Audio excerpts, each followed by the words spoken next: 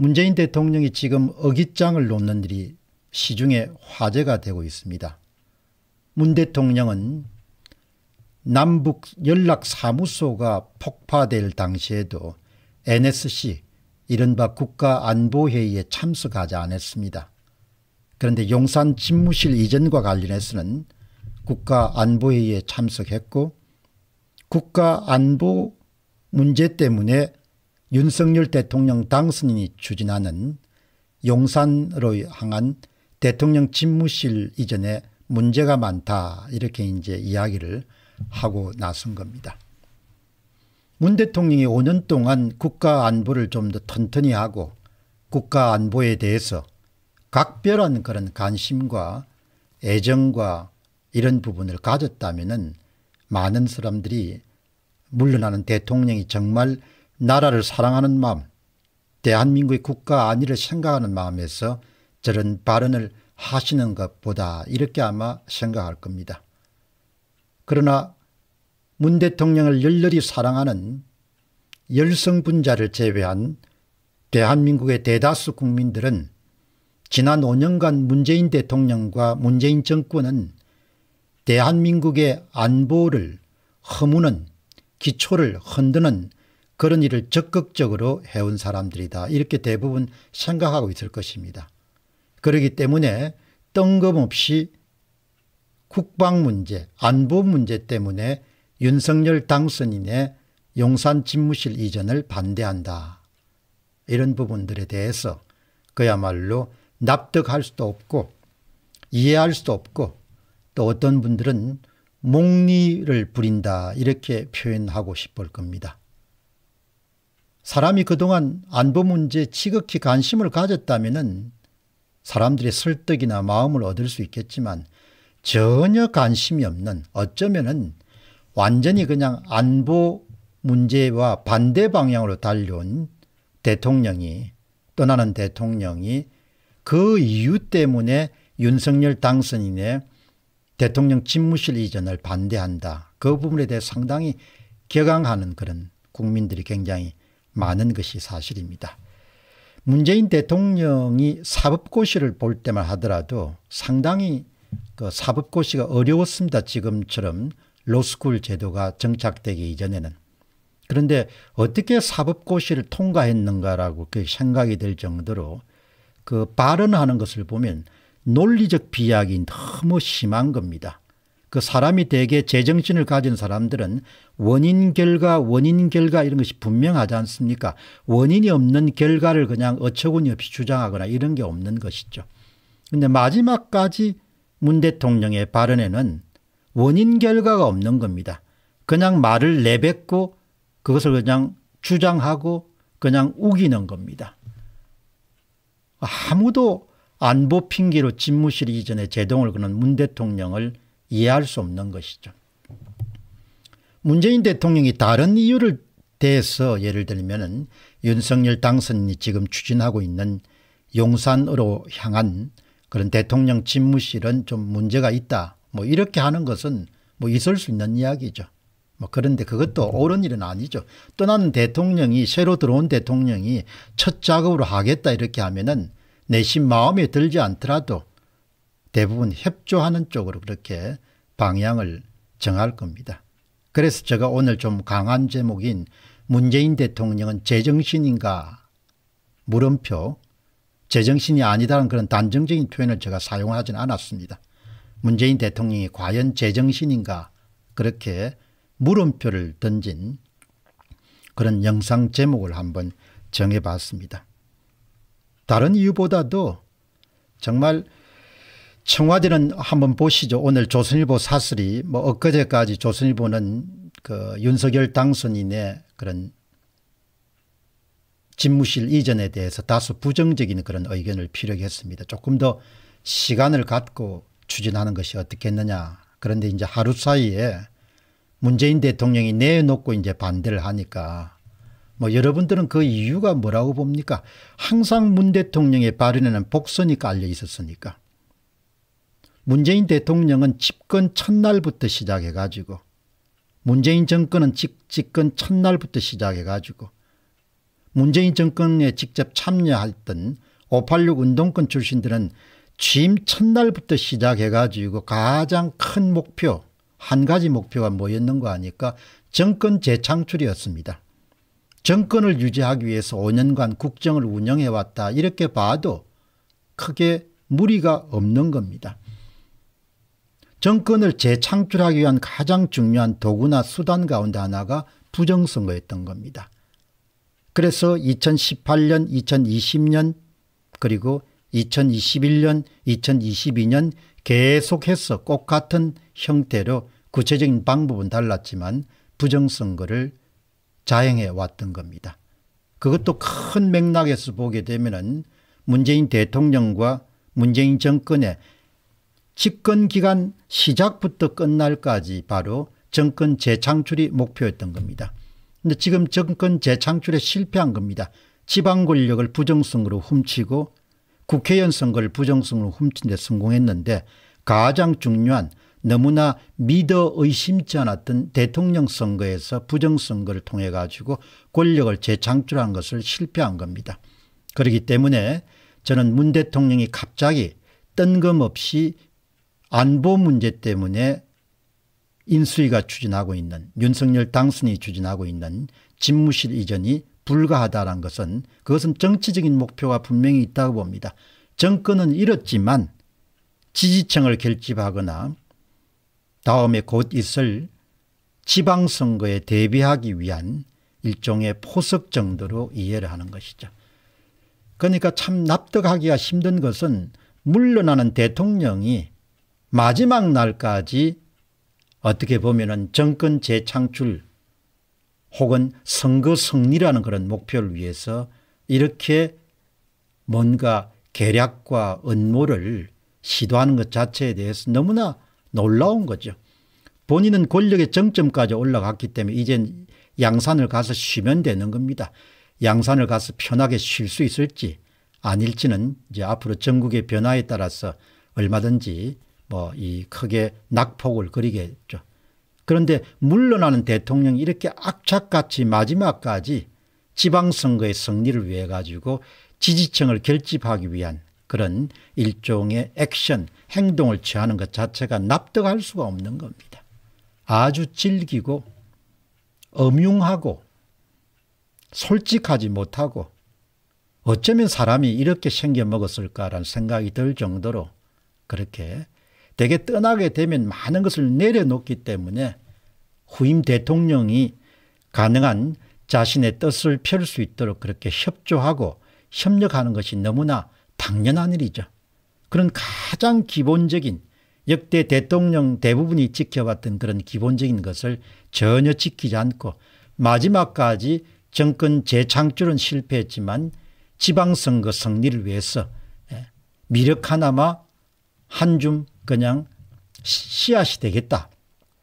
이런 식으로 지금 문 대통령이 처신하고 있는 부분들이 훤히 그냥 문 대통령의 일거수일투족을 관찰하는 사람 입장에서는 다 보이고 있는 것이죠.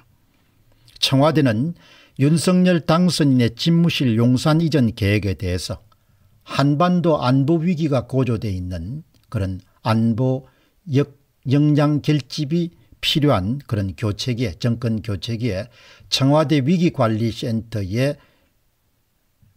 국방부 합참 이전은 안보 공백과 혼란을 초래할 수 있다면서 제동을 걸었다. 사실 저는 다른 문제에 대한 좀 우려가 있지만 안보 공백 문제는 전혀 없다고 생각하거든요.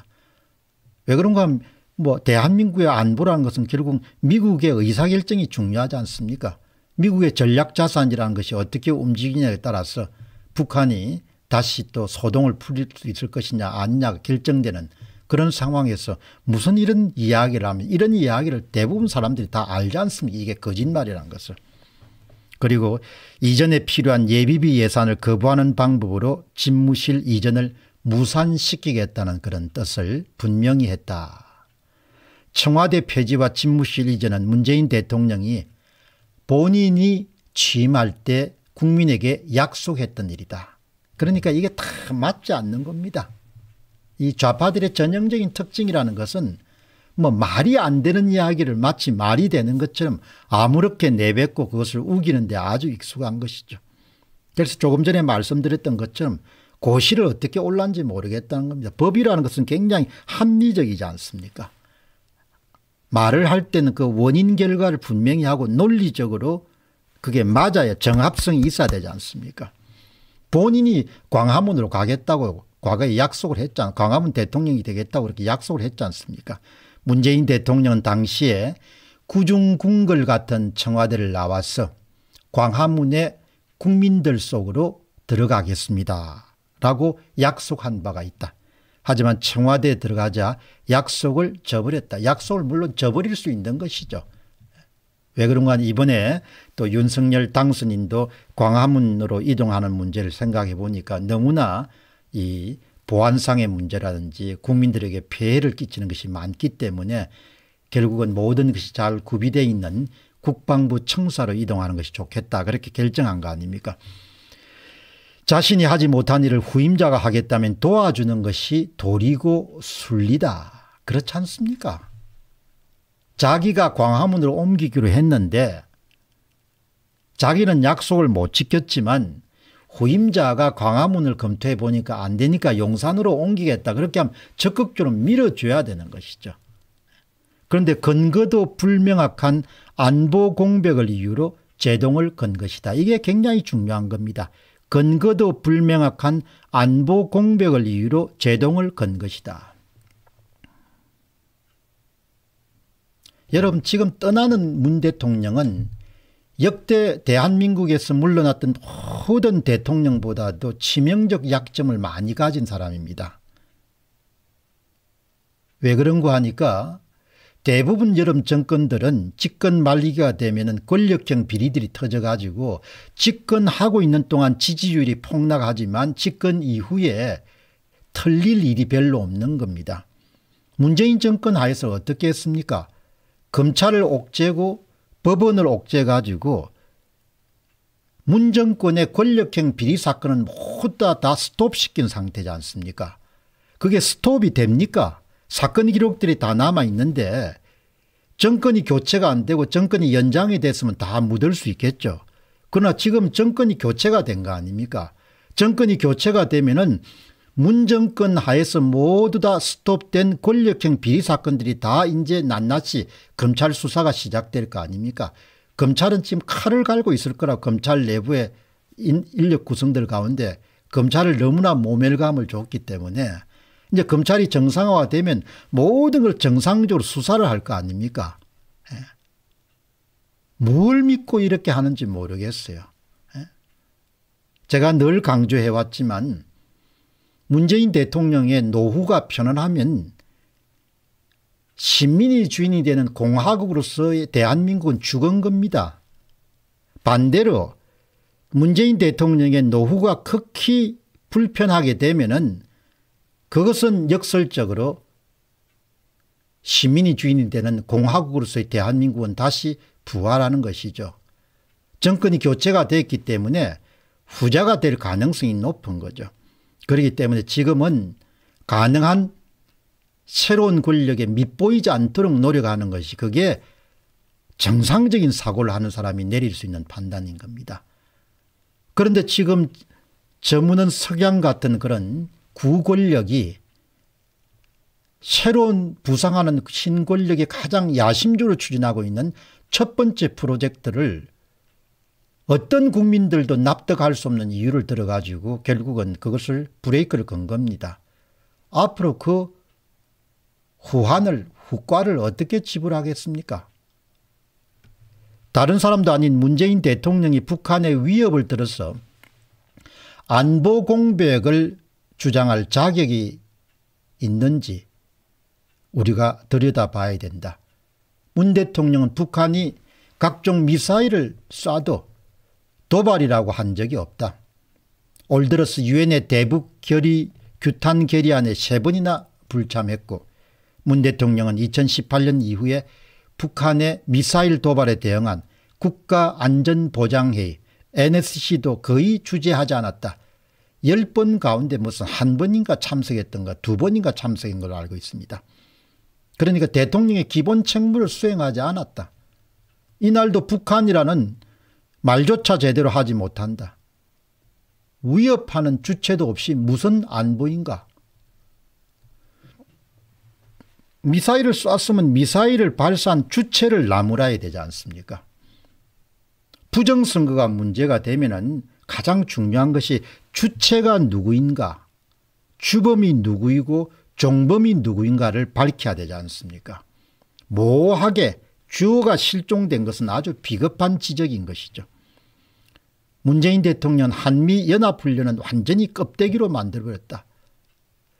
훈련이 없는 군대가 어떻게 싸우겠습니까 그래서 세계 곳곳에 이렇게 포진되어 있는 미군은 훈련을 실전처럼 중요하게 여기지 않습니까? 실전처럼 훈련하지 않습니까? 훈련이 없는 군대가 돼버린 거 아닙니까? 훈련하지 않는 군대는 군대가 아니다. 5년간 우리 군이 어떤 꼴이 돼버렸나? 심지어 문재인 정부의 국방부는 군사력이 아닌 대화로 나라를 지킨다. 이렇게 선언한 바가 있다. 김정은과 정상회담 쇼에만 매달려 놓고 이제 와서 대통령 집무실 이전에 따른 안보 공맥을 그렇게 걱정하다니 앞뒤가 맞지 않는 것이죠. 그래서 참 문재인 대통령을 제가 나무라는 겁니다. 어쩌면 당신은 나이 살도 그렇게 먹었는데 말이 되지 않는 이야기를 그렇게 말이 되는 것처럼 천연덕스럽게 떠들고 다니냐 이야기죠. 당신이 안보에 대해서 이야기를 하면 어느 국민이 믿겠느냐 이야기 정신 나간 영감이다 이렇게 생각할 거란 이야기입니다. 내일 모레면 영감이 되지 않습니까 대통령이랑 뵐게, 뵐게 됩니까 폼 잡지만 그냥 선출직 공직자잖아 물러나고 나면 촌노처럼 되는 겁니다. 촌노보다 훨씬 심하게 되겠죠. 감옥 가지 않겠습니까 감옥 안 갈 수 있겠습니까 여러분 어떻게 생각하시면 의견 한번 남겨보시기 바랍니다. 문 대통령이 감옥 안 가겠습니까? 감옥 안 가겠다고 생각하십니까? 여러분 생각은 어떻습니까? 얼마나 엉망진창으로 국정을 운영했습니까? 근데 감옥을 안 가겠습니까?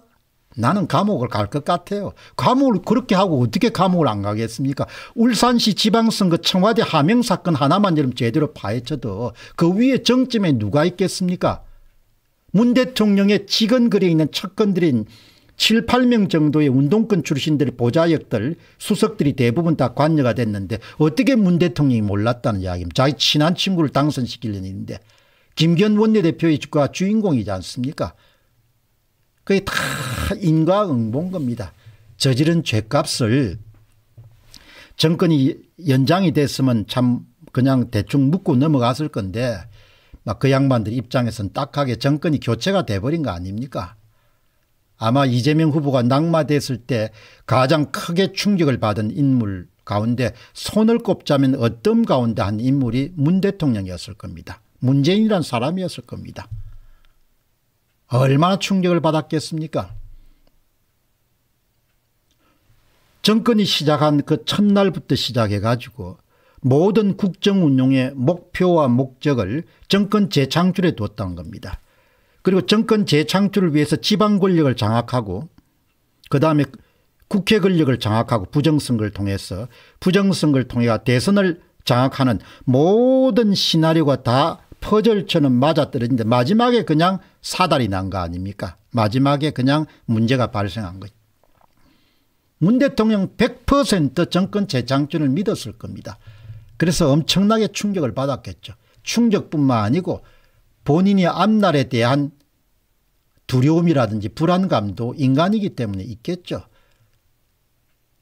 탈원전의 경제성 조작 사건 그게 산업통 뭐 통상자원부 장관 차원에서 이루어질 일이 아니지 않습니까 그 정점에는 누가 있겠습니까 문 대통령이죠.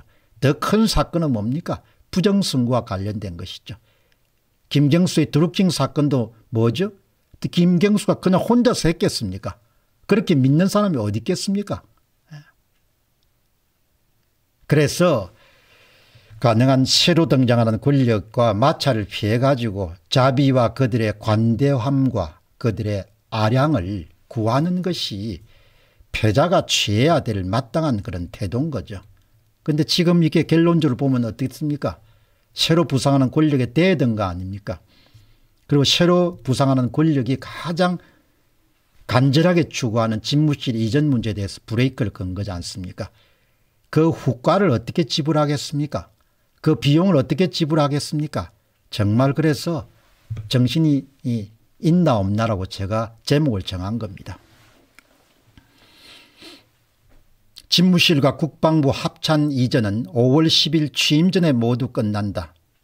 안보 인식 자체가 잘못된 정부가 한 달여 사무실 이전 때문에 갑자기 안보를 걱정한다고 한다. 신랄하게 비판하는 거죠. 이 정권이 집무실 이전에 돈이 많이 든다고 우려하는 것도 놀랍다. 민주당은 5년간 400조 원이 훨씬 넘는 빚을 내서 돈을 뿌렸다. 지금 나라 빚이 천조 원이 넘었다. 그 천문학적 돈이 어디 갔는지 흔적도 없다. 대선 때는 돈 뿌린다는 공약만 했다.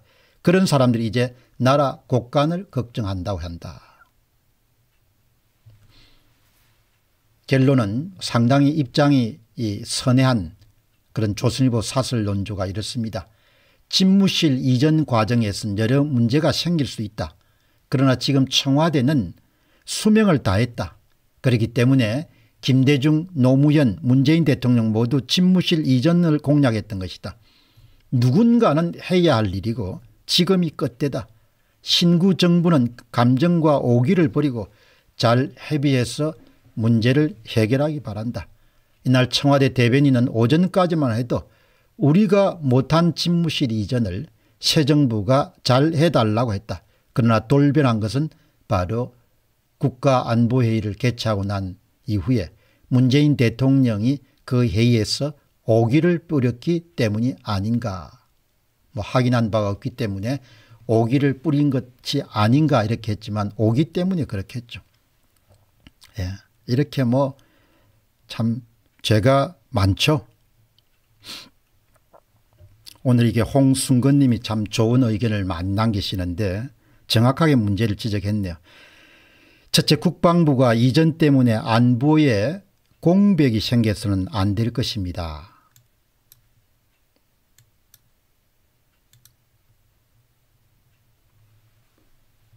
군은 국방부의 지휘 기능에 지장이 생겨도 안보의 공백이 있어서는 안 되는 것입니다. 두 번째는 대북 정보 자산은 우리보다 미국이 훨씬 앞서는 것으로 압니다. 즉 국방부에 다소의 공백이 발생해도 별 문제가 없다는 것입니다. 세 번째는 미국의 훈련 차원의 전략자산 전개를 요청하게 되면 북한은 절대로 움직일 수가 없습니다. 886명이 찬성하게 되고 8명이 반대를 한 겁니다. 그러니까 얼마나 지금 문 대통령이 내세우고 있는 그런 소위 그 안보 차원에서 문제 때문에 어려움이 가중될 수 있다.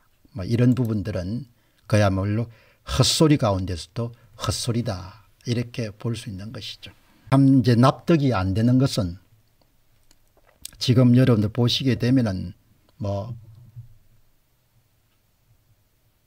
제가 거듭 말씀드리지만 지금 민주당의 최대의 아킬레스건 민주당의 급소가 뭡니까 민주당의 민주당의 지금 급소는 그동안 부정선거를 해온 겁니다.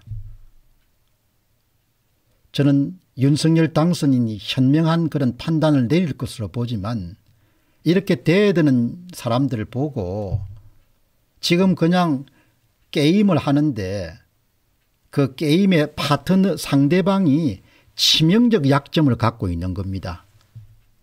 윤석열 당선인과 민주당 측이 지금 칼을 겨루고 싸우는 겁니다.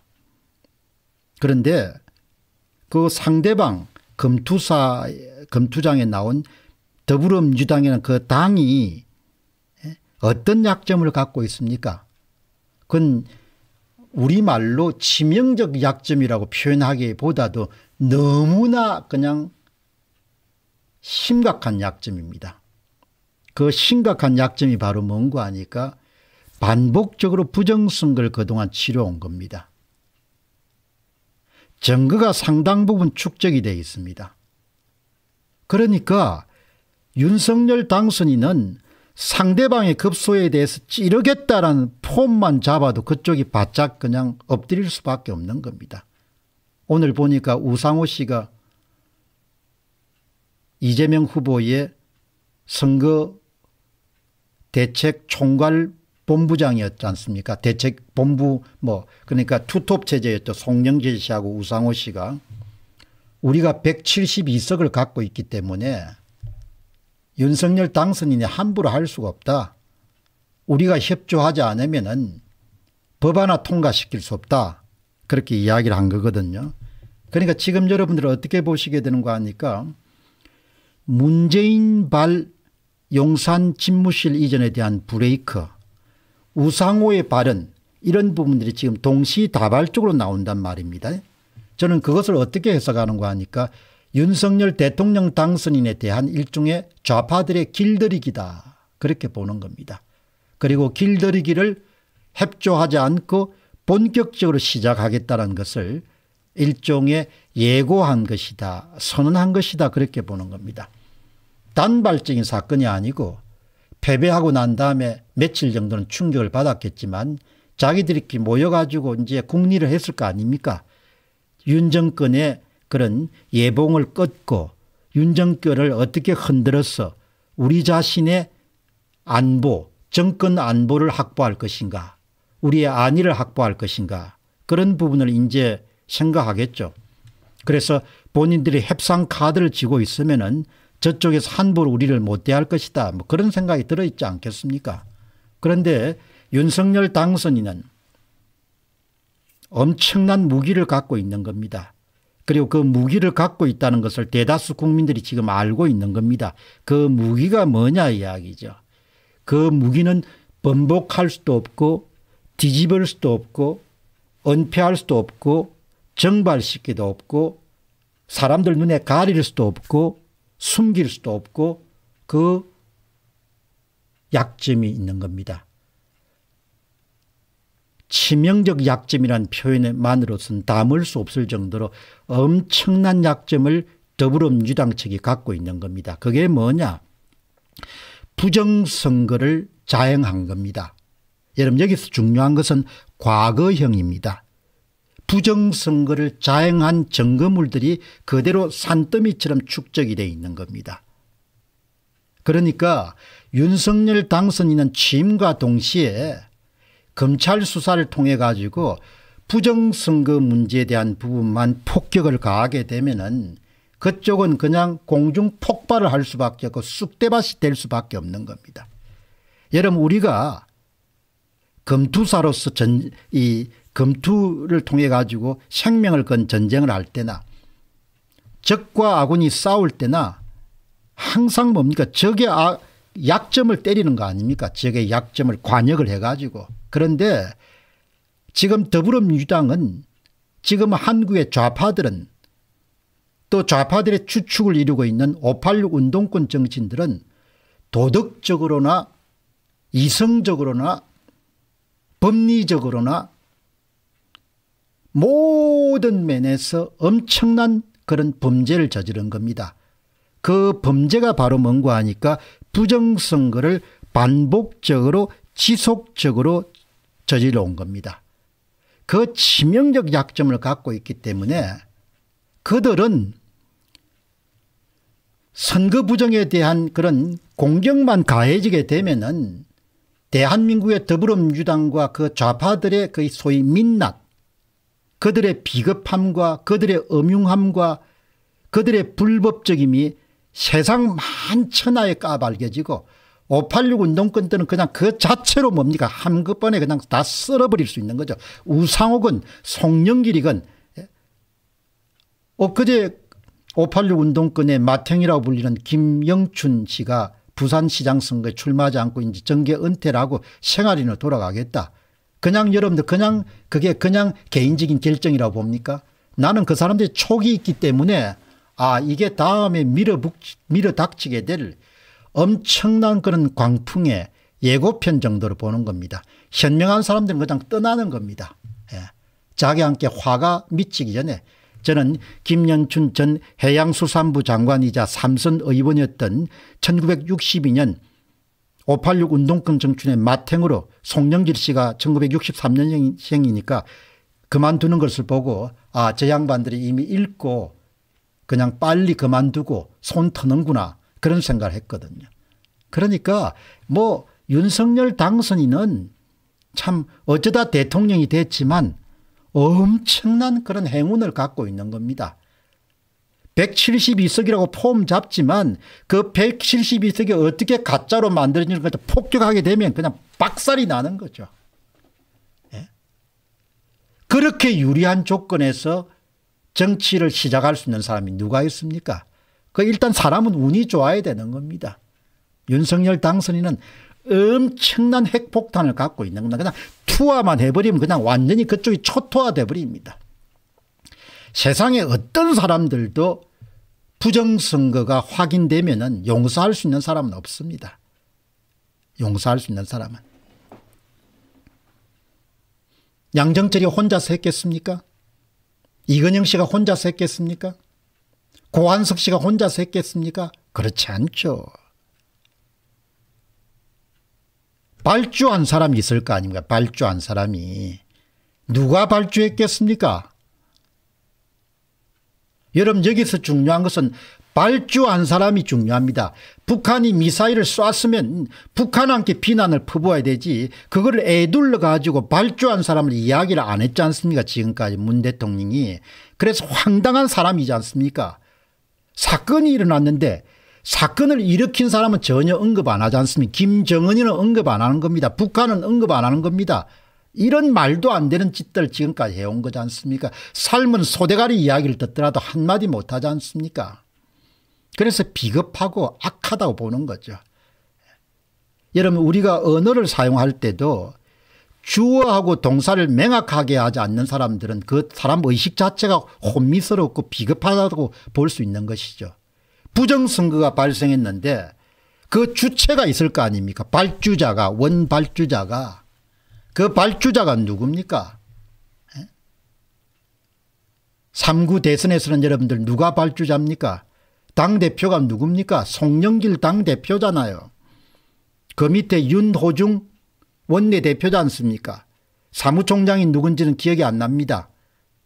당 수뇌부는 다 알고 있었을 거 아닙니까? 당 수뇌부가. 몰랐을 리가 없지 않습니까? 어떻게 그걸 모르겠습니까? 에? 얼마나 많이 알았겠습니까? 앞으로 수사가 진행되면 얼마나 재미나는 일들이 많이 나오겠습니까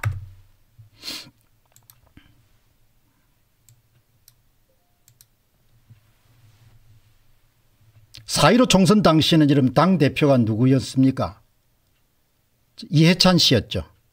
이해찬 씨. 원내대표가 그 당시에 누구였습니까 원내대표가 지금 통일부 장관하는 누구죠 통일부 장관한 사람이었죠.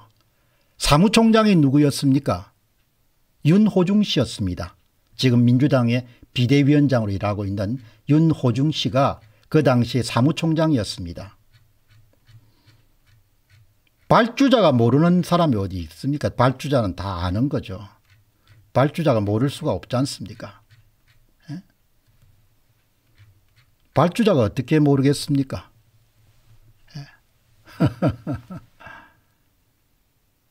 완전히 그냥 이길 수 있는 그런 완벽한 그런 무기와 수단을 다 동원하고 대통령직을 시작하는 사람이 윤석열이라는 사람입니다. 엄청난 행운한 거죠. 아 이인영 씨. 4.15 총선 당시는 이해찬 씨가 당대표 이인영 씨가 원내대표 윤호중 씨가 사무총장이었습니다. 그리고 거기에 그 하해 민주연구원장이 양정철 씨고 그다음에 민주당 전략기획위원장 보정값 조작값을 영향한 성이 이건영 씨였습니다. 3구 대선은 누구였습니까 송영길 당대표였고 윤호중 원내대표였고 사무총장 이름은 기억나지 않습니다. 총괄은 누구였습니까 이건영 민주당 전 선대위원장이 기획단장을 맡아서 이번 일을 그렇게 했고 그다음 옆에 이제 선거 조작 기술자들이 있겠죠. 발주한 사람들이 있을 겁니다. 아마 검찰 수사가 들어가게 되면 고구마 그냥 넝쿨째 캐는 것처럼 줄줄줄 다 이런 데 엮어질 겁니다. 예. 오늘 Freedom 오일인 부정선거란 무기를 사용하기 시작하게 되면 정당 해산은 불가피합니다. 사형도 불가피합니다. 예. 윤석열 대통령 당선인이 국민들이 지금 가장 간절히 원하는 거가 예. 더 이상 대한민국에서 부정선거에 대한 우려가 나오지 않도록 해달라. 예. 이렇게 전국 운영할 수 없습니다. 예. 전국을 이렇게 운영하기가 불가능합니다. 음. 전국을 운영하기가 이 한번 보시죠. 현재 이와 관련해서 가장 전국을 예리하게 보는 사람이 이번에 코로나 때문에 아주 어려움을 많이 겪었던 민경욱 전 미래통합당 국회의원이자 청와대 대변인이자 다음에 국투본 상임대표이자 4.15 총선에서 인천 연수울에서 정일영 그런 후보에게 부정선거로 패배한 바로 민경욱 전 의원입니다. 정확하게 이야기하지 않습니까 국회 민주당 의석 172석을 무너뜨리지 않고 윤석열호의 순항을 바라는 것은 연목구호입니다. 불가능하다는 이야기입니다. 이 문제를 풀 수 있는 유일한 해법은 대법원을 압박해서 사이로 부정선거 판결을 내놓게 하는 것입니다. 단 한 건이라도 재선거 판결이 난다면 세상은 뒤집어질 것입니다. 172석도 무너집니다. 작은 손가락 넣어서 큰 뚝을 무너뜨리는 전공법입니다. 이런 가장 유력한 대안을 윤석열 당선인이 밀어붙일 수가 있으면 윤석열 당선인은 성공한 대통령이 될 것이고 역사에 이름을 남길 수 있는 그런 걸출한 인물이 될 겁니다. 예. 여러분 우리가 살아가면서 생활이는 또 그렇지만 이 기회 포착에 굉장히 민감해야 되고 기회를 그렇게 촉이 있어야 되는 것이죠. 기회를 볼 수 있는 촉이 있어야 되고 그 기회가 왔을 때 one, two, three 그냥 들어가야 되는 거죠. 예. 지난 날을 되돌아볼 때 소위 인생에서 많은 기회가 주어지지 않습니다. 소위 한 10년 터울로 마치 물결치듯이 자신에게 다가오는 그 기회를 읽을 수 있는 능력이 엄청나게 중요한 그래서 항상 사람이 깨어 있어야 되는 거죠. 사업을 하든 무슨 일을 하든지 간에. 그러니까 안테나를 높이 세우고 살아야 되는 거죠. 안테나를. 예. 자기 삶에서 한번 도약할 수 있는 그런 기회가 온단 말이에요. 기회가.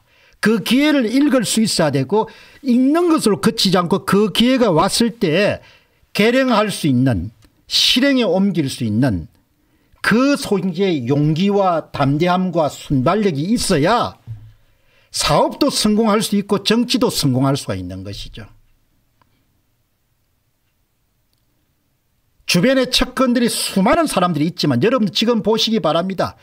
대한민국에 그 수많은 지식인들이 있고 수많은 농객들이 있고 수많은 정치인들이 있지만 사실과 진실을 외치는 사람들이 그냥 가뭄에 콩나기보다 드물 정도로 없지 않습니까 예. 윤석열 당선인 주변에 수많은 인간들이 있겠지만 정곡법을 지적하고 난국을 풀고 한 단계 도약할 수 있는 그런 것을 제공할 수 있는 그런 인간들은 가뭄에 콩나기처럼 드물 거란 이야기죠. 그게 지도자가 갖고 있는 복인 겁니다. 정확한 지적입니다. 국회 민주당 의석 172석을 무너뜨리지 않으면 윤석열은 식물 대통령으로 끝날 것이다. 그리고 좌파들은 다시 권력을 장악할 수 있는 업무를 실행에 옮길 것이고 그것은 바로 대한민국 국민들에게 또 한 번 재앙을 의미하는 것이죠. 그러니까 윤석열의 성공이 우리 미래도 엄청나게 중요한 겁니다. 예? 바로 지금 자신에게 주어진 것은 민주당이 자책수 더불어민주당과 586 운동권 정치인들이 범한 저지른 가장 공동체의 사악한 죄인 부정선거라는 그런 치명적 약점을 정면으로 때리는 겁니다. 예. 그게 때리게 되면 대한민국의 좌파와 좌익들의 기반을 도덕적 기반부터 시작해 모든 것을 와해시킬 수 있을 것입니다. 예. 그게 Freedom 오니님이 말씀하신 것처럼 부정선거란 무기를 사용하기 시작하면 정당 해산은 불가피할 것입니다. 특정 정당이 조직적으로 부정선거를 진행, 자행한 겁니다. 대한민국의 매년 수백여 개 정당 보조금을 받는 그대 여당이 지금까지 여당이죠. 부정선거를 자행한 것이 세상에 밝혀지게 되면 그 당 자체가 존립할 수가 없는 것이죠. 양정철과 이건영 작품이 아니란 겁니다. 궁극적으로 이해찬과 송영길과 윤호중과 이런 사람들이 다 기획된 작품일 겁니다. 한 보시죠. 자 민경욱 의원이 17시간 전에 올린 글입니다. 이번에 정말 그 코로나 때문에 아주 어려운 상황까지 갔는데 민경욱 전 의원이 이야기합니다. 제가 아프다는 소식을 들은 민주당 중진 의원이 전화를 걸어와서 위로를 해준 중에 말했습니다. 그러니까 민주당 의원이 이렇게 전화했으면 상당히 평소에 친분이 있었겠죠. 이번에도 선거관리위원회가 조금만 잘해줬으면 결과가 이렇게 되지 않았을 거라는 걸 잘 아시잖아요. 저는 제 길을 의심했습니다. 선관위와 더불어민주당은 한 몸이었습니다. 이번에도 선거관리위원회가 조금만 잘해줬으면 결과가 이렇게 되지 않았을 것을 잘 아시지 않습니까 민 의원은 이런 이야기입니다. 선관위의 조직적이고 체계적인 협력과 부역이 없었으면 부정선거가 일어날 수가 없는 겁니다. 4.15 총선이 끝난 직후에 부정선거 문제가 불거져 나올 때 부분적으로 선관위 직원들은 그렇지 않았을 것이라는 믿음이 있었습니다. 그러나 그 이후에 그 믿음은 이미 깨졌고 3구 대선을 통해서 선관위의 상당한 구성원들이 조직적이고 체계적으로 부정선거에 관련됐다 이렇게 우리가 잠정적으로 결론을 내릴 수 있는 것이죠. 이번에도 선거관리위가 이번에도 이번에 아니고 이번에도 선거관리위원회가 조금만 잘해줬으면 선거 결과가 이렇게 나오지 않았을 거라는 것을 민의원도 잘 아시지 않습니까 이거죠 뭐.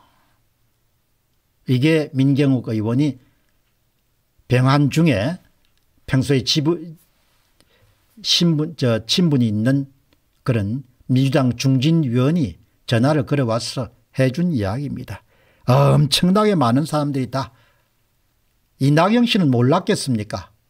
4.15 총선에 결과가 발표됐을 때 이렇게 하지 않습니까? 이렇게 조용히 조용히 압승하는 그 기쁜 소식에도 조용히 이낙영 씨가 그렇게 이야기하는 것이죠. 이게 그냥 여러분 사실입니다. 예. 이런 종류의 귀한 그런 조언을 바로 자신이 갖고 있는 그야말로 핵심적인 그런 무기를 윤석열 당선인이 분명히 합법적 절차에 따라서 사용할 수 있을 것으로 그렇게 봅니다. 그러나 만일 그가 그것을 제대로 주변에 그런데 여러분 보시죠. 그런데 국민의힘은 이렇습니다. 선관위 임시사무소 얘기가 나왔을 때 행정안전위원회를 소집하라고 그렇게 얘기를 해도 귀에 말뚝을 받았는지 마이동풍이든 국민의힘당이 뒤늦게 국회 상임위를 통한 선관위 압박에 들어갔다. 이 미련한 자들아 그게 선거 뒤에 이런 일이 더 일이 이런 이런 이럴 일이 더냐 뭐 이렇게 이야기를 하는 거죠. 국민의힘이 참 문제가 많은 겁니다.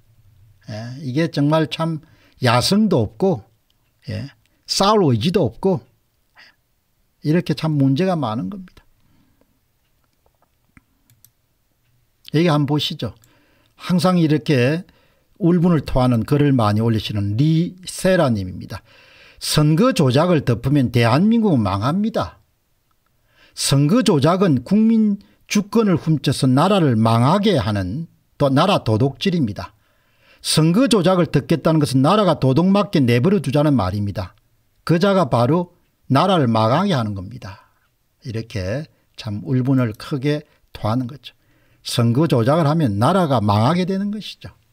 아, 그래서 정말 이번에 그 이 이제 선거 패배라는 그런 후폭풍을 딛고 지금 더불어민주당 측에서 이제 그런 어떤 작전 계획 지방선거에서 판세를 엎으려고 하는 그런 작전 계획을 개시하면서 노정희 선거관리위원회 위원장 사퇴를 막고 그 다음에 청와대 발 문재인 대통령의 안보 이유 때문에 집무실 이전에 반대하고 우상호 씨는 우리가 172석을 갖고 있기 때문에 윤석열 당선인이 아무래도 법 하나 통과시킬 수 없다. 그렇게 은포를 놓고 이런 모든 그림들이 이제 그들이 패배 충격을 딛고 다시 골기하고 있다. 이렇게 이제 볼 수 있는 것이죠. 예, 볼수 패배 충격을 딛고 다시 골기하고 있다. 이렇게 이제 볼 수 있는 것이죠. 예, 볼수 있는 것이기 때문에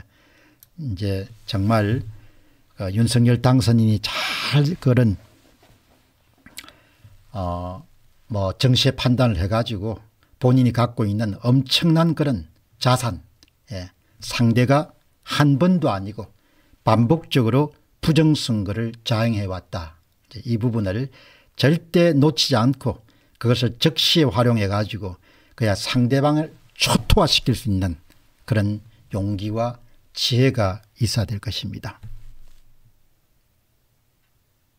여러분 관대함, 관용, 아량, 화합, 통합, 협치 아름다운 말입니다. 근사한 말입니다. 그러나 적을 다룰 때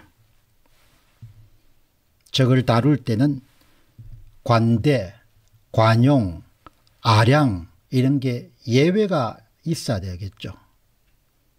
옛날 말에 이런 게 있습니다. 사람은 고쳐서 사용을 못한다. 참 그렇게 살아가면서 어른들이 해줬던 그런 이야기가 천금 같은 그런 교훈으로 와닿을 때가 많죠. 사람은 고쳐서 사용할 수 없다는 이야기입니다. 그것은 뭔가 하니까 악에 젖은 사람, 구습에 젖은 사람 이런 사람들은 변화가 힘들다는 겁니다. 그것을 고쳐서 사용한다는 게 어렵다는 겁니다. 사람도 고정관념이 굉장히 강하고 고집불통인 사람들은 자기가 옳다는 것을 절대로 뭡니까 뒤집으려고 안 합니다. 조갑제시 보시기 바랍니다. 지금도 떠들지 않습니까 부정선거 업무론 부정선거 업무론자라고 지금도 떠들지 않습니까 2년이 지났지만 사람은 고쳐서 사용할 수 없는 겁니다. 예. 그렇게 고집불통이고 그냥 선입견이 강하고 지잘난 맛에 사는 인간들은 고쳐 사용할 수 없는 겁니다. 악에 젖은 사람 사악함에 젖은 사람 선악 개념이 없는 사람은 고쳐서 사용할 수 없는 겁니다. 평범한 인간 같으면 공동체의 기초 자체를 뒤엎어버리는 부정선거를 기획하거나 꿈꾸거나 개량할 수가 없는 겁니다. 그거를 한 사람들이 지금 멀쩡하게 살아서 돌아다니고 있는 겁니다. 더불어민주당 측에서. 예. 얼굴 뻔뻔히 들고 나는 아무 일 우상호 씨가 몰랐겠습니까? 3구 대선 결과를? 어떻게 몰랐겠습니까? 송영길 씨와 함께 투톱 체제였지 않습니까? 우상호 씨 다 알았겠죠? 왜 몰랐겠습니까? 임종석 씨 알았겠습니까?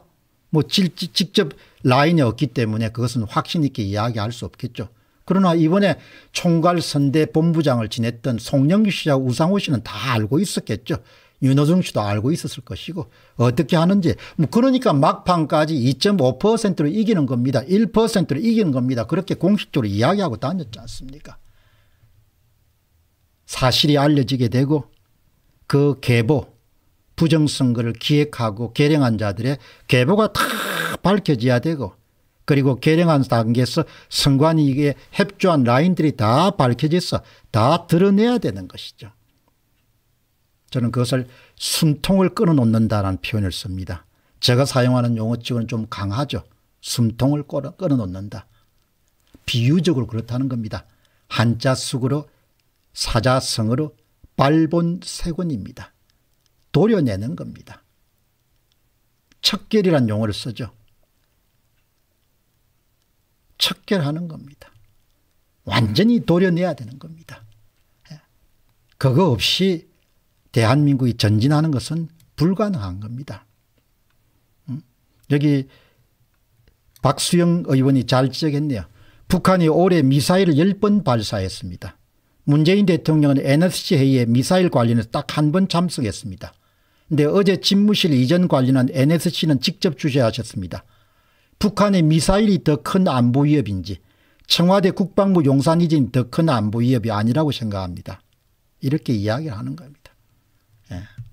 그러니까 지금 이제 윤, 그 문재인 대통령이 보이고 있는 그 어깃장을, 어깃장을 놓는 것은 그냥 단편적인 사건이 아니고 지금 소위 좌파 진영이 대선 패배의 휴증을 딛고 다시 공세를 강화하는 일종의 예고편이고 그 소위 그 예고편의 그 예고를 알리는 일종의 신호탄 같은 역할을 바로 지금 문재인 대통령이 담당하고 있다 이렇게 볼 수 있습니다.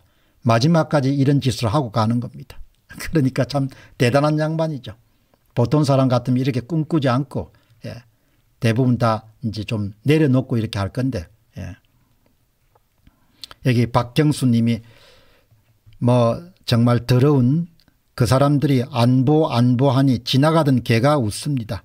당신들이 5년 한 짓을 생각해보고 좀 말하시기 바랍니다. 819명이 찬성하시고 15명이 반대를 합니다. 임진구님은 윤석열이 영웅입니다. 뭐만도 못한 선동질 전문 문재인 정권을 초반부터 묵사발을 내놓는데요. 592명이 찬성하고 10명이 반대입니다. 뭐 이런 식이면 만날 필요 있겠습니까 당선인이. 만날 필요가 없지 않습니까 전번에 트럼프 보니까 안 만나고 나가버리더구먼. 예. 김강규영님입니다. 북해에서 미사일 쏠 때는 뭔지도 모르고 불상이 날아다니다더니 방사포 쏘니 NSC 열어서 안보가 위중할 때라고 그러니 문니가 짱사랑하는 북해에서도 오죽하면 삶은 소대가리라고 할까 180명이 찬성하고 3명이 반대했네요. 최일선의 GP도 다 부셨는데 이제 와서 안보 타령 신미영님이 209명이 찬성하고 4명이 반대합니다. 이런 걸 청와대에 있는 사람 안, 읽지 않는지 모르겠어요. 이런 걸 저도 열심히 읽는데 왜 이런 걸 안 읽는 이게 민심이지 않습니까? 이런 것을 보면 정치 노땅들도 정신이 의심될 정도의 수준입니다. 고등학교 교실의 토론에도 이것보다 낫겠습니다. 주장의 근거도 약하고 설득는 없는 세기는 모양새로 과거 낙후된 교육체계에서 배운 사람들 한계가 이겁니다. 문재인을 비롯한 한심한 수준들입니다.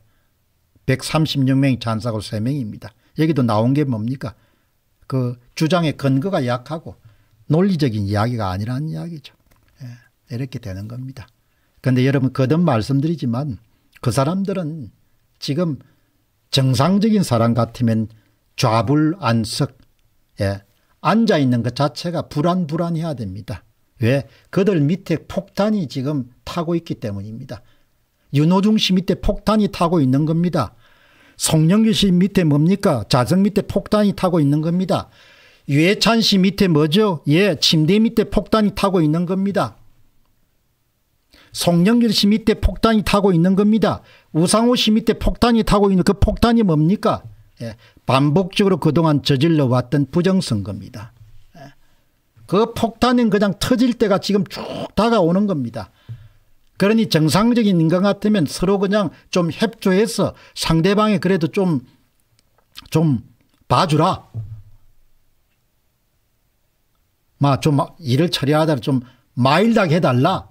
이렇게 해야 정상적인 그런 사람이 취할 태도인 거죠. 폭탄이 지금 타고 있는데 예? 그냥 뭐 협조 못하겠다. 너 마음대로 해라. 이렇게 이야기가 나온 거죠. 어, 예. 그거는 참 내가 볼 때는 제정신으로 뭐 여기 이봉훈이 말씀하신 다이너마이트 지금 심지가 막 타고 있지 않습니까? 이렇게 막 부글부글 끓어오는 겁니다. 근데 그거 심지 어떻게 여러분 끄겠습니까? 이미 저질른 건데. 2020년 4.15 총선이 그냥 저질렀지 않습니까? 일을. 그 점검물이 지금 어디 모든 전국 법원에 지금 다 보관되어 있지 않습니까? 3구 대선은 뭐죠? 정거 보전을 지금 계속 거부하지만 어떻든 3구 대선도 문제가 많은 거 아닙니까? 엄청나게 문제가 많은 거죠. 불러가지고 뭡니까? 이건영이 까면 뭡니까? 검찰 수사 들어가면 안 불겠습니까 다 불죠 검찰 들어가면 다 붑니다 예, 검찰 수사관 앞에서 줄줄이 다 붙는 거죠 예. 호프 그리님이 죽는 게 안 무서운가 봅니다. 나는 도대체 이해를 할 수 없어. 일단 부정선거를 저지른 것 자체가 나는 도저히 할 수 없고 왜 양심이 후들거려서 어떻게 하냐 이야기. 다음에 애들 앞날 생각하게 되면 그걸 어떻게 하냐 이야기죠. 근데 그걸 뻔히 저지른 사람들이 지금 와가지고 민낯하고 마치 아무 일도 없는 것처럼 폼 잡고 다니는 걸 보면 저게 정신인지 아니면 저게 동물인지 짐승인지 아니면 이해가 안 가는 거죠. 있을 수 없는 거죠. 예. 밑에 지금 아주 정확한 표현이 밑에 다이너마이트 심지가 지금 타고 있는 겁니다. 음. 이번에도 선관위가 조금만 도와줬으면 우리가 이겼을 텐데 참 억울합니다. 뭐 이럴 거 아닙니까 많이 알고 있다는 겁니다. 하기야 시민들이 다 알고 있는데 모르는 사람이 얼마나 되겠습니까 더불어민주당 소속 국회의원이나 당직자 가운데 모르는 사람이 얼마나 되겠습니까 음. 이제 이렇게 되는데 참 대한민국의 농객 가운데서도 가장 빛나는 업적을 달성했던 그런 김대중 칼럼 한번 보시죠. 어쩌다 대통령 된 윤석열 이럴 게 없다. 윤석열 정권의 시대적 사명은 지난 5년 잘못을 바로잡고 대한민국 정체성을 확립하는 일이다. 문재인 정권의 내로남불 권력 남용 통합 이유로 눈 감지 말고 법 절차에 따라서 문책해야 된다. 여기 아주 중요한 것이 합법적 절차를 준수해서 모든 문제를 해결해야 된다. 지난해인가 대선을 취재할 때도 미국 대선을 취재할 때도 가장 인상적인 부분들이 이제 변호사의 조력을 받아가지고 철두철미하게 대통령도 법적 그런 정당성 합법적 절차를 따르는 것이 굉장히 인상적이었거든요. 그러니까 이번에 이제 지난 5년간 되돌아보게 되면 가장 뼈아픈 부분이 문정권 하에서 너무나 합법적 절차를 그냥 무시해버리는 일들이 많았지 않습니까 이제 그런 부분들은 어, 실수하지 않도록 그렇게 이제 막 제가 볼 때는 문정권이 잘 할 것, 아, 저 윤석열 정권이 잘 할 것이다 이렇게 보는데 여기 이제 참 김대중 칼럼니스트가 참 이렇게 이제 글을 썼는데 예. 어디에도 이제 선거 공정성 문제에 대한 언급이 없어요. 예. 참, 이 보면은 결론적으로 윤석열 정권이 받은 시적 사명은 문재인 정권을 청소하라는 것이다. 예. 그런데 한마디도 없거든요. 다만 여기 보면 철저한 사실 검증과 법 절차에 따라서 권력 개입 없이 문책이 이루어지지 않으면 문정권과 다를 것이 없을 것이다.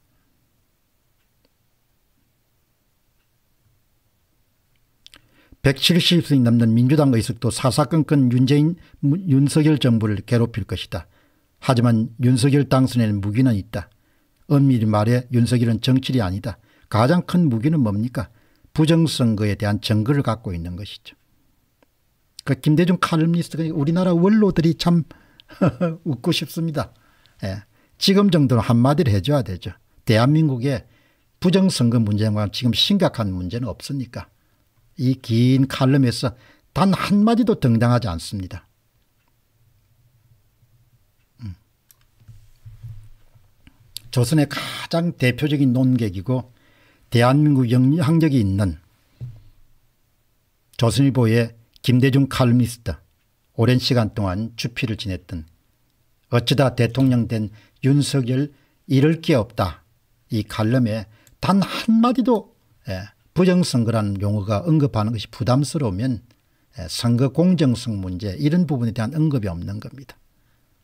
이러니까 참 뭐 문제가 예, 뭐 원로가 있는 건지 대한민국에 그 많은 정치를 했던 정치계 원로들 가운데 예, 그런 그야말로 민주당 출신인 누굽니까? 그 강주에 계셨던 예, 그분만 사선 의원이었던 예, 그분만 윤석열 당선인 저 후보 앞에서 선거 문제가 심각하니까 부정선거 문제를 꼭 막아야 된다 이렇게 말씀한 거 아닙니까? 아무도 이야기를 안 하는 겁니다 이렇게. 이렇게 세상이 비겁한 겁니다 운 좋은 부자 언니가 그건 원로가 아니라 꼰대입니다 이렇게 이야기했네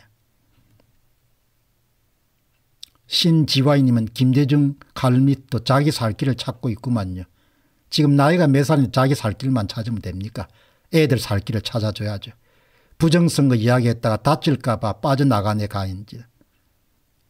유상님은 원로가 아니라 한 자리 차지하는 인간 머머들입니다. 예. 어쩜 이렇게 비겁할지. 참 내가 늙으면 이렇게 될지 알 수가 없지만 그래도 이건 사는 게 아닌 것 같아요. 음. 뒤에 마지막 한 줄 정도 넣을 수 있지 않습니까 많은 국민들이 우려하는 선거 공정성 문제는 윤석열 당선인이 특별한 주의를 기울여서 윤 정부 하에서는 이 문제가 고착되도록 그렇게 노력해야 된다. 이게 나와야 되잖아요. 사회가 어떻게 하다 이렇게 비겁하게 되어버렸는지 참 이해가 안 됩니다. 이해가.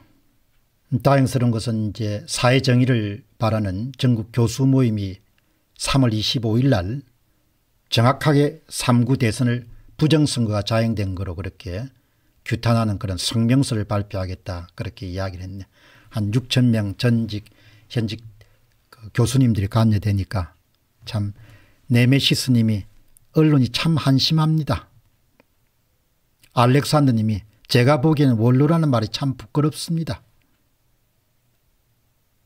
YD 큰님은 생계형 농격들입니다.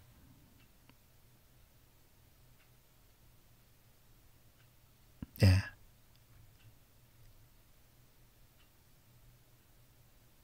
꽃별님은 정홍은 같은 사람도 국민의힘당 부정정선의 선거사범입니다. 이 하늘나라님은 놀랍습니다. 참. 저는 부정선거 문제를 보고 한 사람의 댐댐이를 많이 이렇게 판단합니다. 그 사람이 그동안 뭐 민주, 자유, 정의, 시장경제를 아무리 외쳐왔더라도 침묵하면은 그냥 그렇고 그런 인간이다 이렇게 보는 겁니다. 이제 더 한심한 그런 글을 하나 소개하겠습니다. 좀 삐딱한 글을 많이 쓰죠. 그렇지만 뭐 이 이슈를 선점하는 능력이나 이런 것에 뛰어난 사람이 중앙일보의 오병상 그런 칼럼니스트입니다. 0.73% 대선 불복의 징후들입니다. 뭐 이런 것은 마지막을 한번 보시죠. 민주당 강경파와 이재명 지지자들의 목소리를 결합하면 이렇게 정리할 수가 있습니다. 0.73% 대선 패배였지만 졌지만 잘 싸운 선거다. 이재명 잘못이 아니다. 패배 원인은 검찰개혁과 언론개혁 등 개혁입법을 더 강하게 추진하지 못했기 때문이다. 더 과감하게 개혁입법을 밀어붙여 6월 지방선거에 승리함으로써 대선 패배를 극복해야 된다.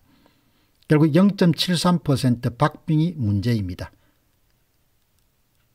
민주당의 강경파들은 마음속으로는 승복하지 못합니다. 자연스럽게 정치판의 관심은 박빙 1차 대전, 대선을 확정지을 재격돌 2차전 지방선거로 집중되고 있습니다. 윤석열의 청와대 이전은 여러 가지 비판의 소지가 있기에 민주당 입장에선 지방선거용 호재입니다. 그런 점에 청와대의 입장 변화는 물러나는 대통령의 정권 인계라기보다도 민주당의 강경파의 선거 전략 같습니다. 문재인 청와대가 늘 그래왔듯이. 이 오병상 코멘터리 또 보면은 단 한마디도 여러분 뭡니까? 부정선거를 언급 안 하는 겁니다. 그리고 오병상 칼럼니스트 자체가 진짜로 0.73% 25만 표 차이가 난 걸로 믿고 글을 쓰는 겁니다. 예, 이런 비겁한 글들을 쓰는 겁니다. 300만 표 이상 차이가 나야 되는데 부정선거를 해가지고 25만 표 차이 정도로 줄여들었는데 그 문제를 신문이 전혀 인정하지 않는 겁니다. 예. 올리브님이 하도 기가 찼던지 0.73% 킥킥킥 하셨네요. 예. 이게 되는 겁니다. 하대 앤드 세통님 우파 채널들 구글 코리아에서 관리하나요? 정확하게 알 수가 없죠. 그러나 공병호 TV는 지금도 엄청난 탄압을 받고 있습니다. 예. 송출량은 보통 시기에 10분의 1 정도로 2년째 줄어들었고 예. 콘텐츠를 올리면 모든 콘텐츠는 예외 없이 다 노란 딱지를 붙여버리는 거죠. 나중에 풀어주는 것도 좀 있지만 그건 시간이 한참 지났으니까 아무런 도움이 안 되는 것이죠. 철저하게 언론을 탄압하는 겁니다. 윤석열 당선인이 되고 난 다음에 그런 채널에 대한 탄압이 좀 줄어들 수 있을지는 좀 지켜봐야겠죠. 영, 결국 0.73% 박빙이 문제입니다. 이렇게 중앙일보의 농객들이 이런 글을 쓰는 겁니다. 참 대한민국 언론들 뭐 언론을 보지 않을 수가 없지만 기가 찬 거죠. 조선일보의 김대중 주필 글이나 뭐이 글이나 마찬가지입니다. 예. 부정선거 없었다는 거 아니면 0.73%를 진다는 거죠. 0.73% 짓는데 억울한데 왜 그냥 재검표 신청 안 하냐 이야기죠. 한번 보시죠.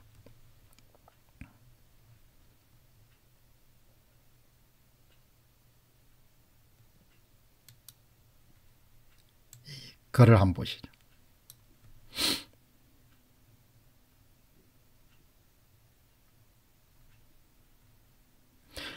신님 0.73% 패배라니 부정선거 아직 규명 안 됐잖아요. 이재명이 찍힌 투표지 이런 물정인데 아직 조사 안 됐지 않습니까? 무슨 0.73%면 조사 끝나면 10% 될지도 모릅니다. 41명이 찬성이 2명이 반대인 겁니다. 중앙일보 이 정도입니다.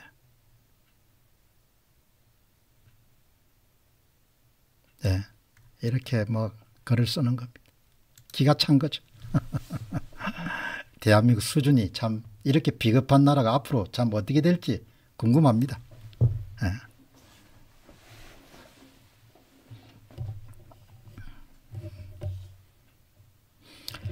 자, 여러분 이제 오늘 이 방송을 이제 마무리하는 말씀을 잠시 드리고 여러분 이제 핵심적으로 이번에 이제 문재인 대통령이 떠나는 대통령답지 않게 이제 국방 운운, 안보 운운하면서 윤석열 당선인의 집무실 이동에 대해서 이렇게 브레이크를 건 것은 결국은 이 문 대통령이 처음에 집권해서 결국 정권 창출을 위해, 위해 가지고 모든 정책을 사용했던 것처럼 지방선거를 염두에 둔 지지자들의 결집을 향한 신호탄을 쏘아 올렸다 이렇게 보실 수 있겠습니다.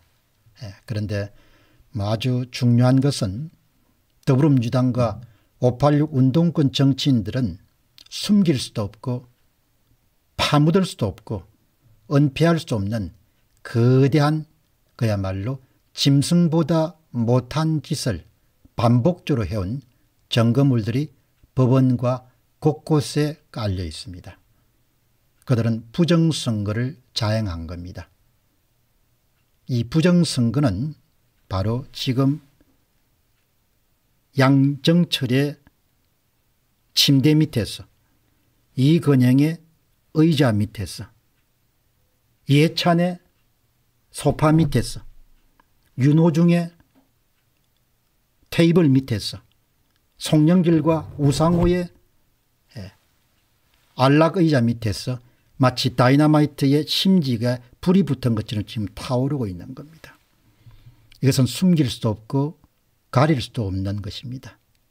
윤석열 당선인은 역대 그 어떤 정권에 출범을 했던 대통령보다도 엄청난 무기를 갖고 있는 겁니다. 공동체를 전복시키려 했던 그런 반복적인 부정선거들입니다.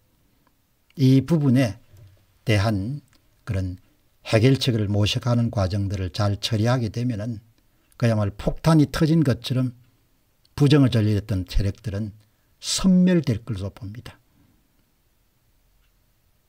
윤 후보가 어떻게 판단하고 계신지는 모르겠지만 저는 인생에서 기회는 자주 오지 않고 기, 기회가 왔을 때는 완벽하게 올인을 하고 활용해야 된다. 그런 소신을 갖고 있습니다.